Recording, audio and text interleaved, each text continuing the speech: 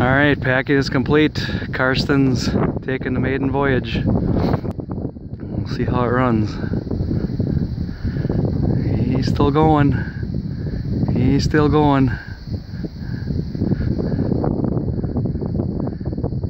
Oh, he's nervous for the big drop, I bet. Here he goes. Nice job. How was it? That was fun.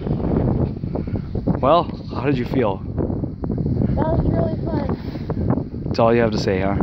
Yeah. Three years in the making. Yeah. All right.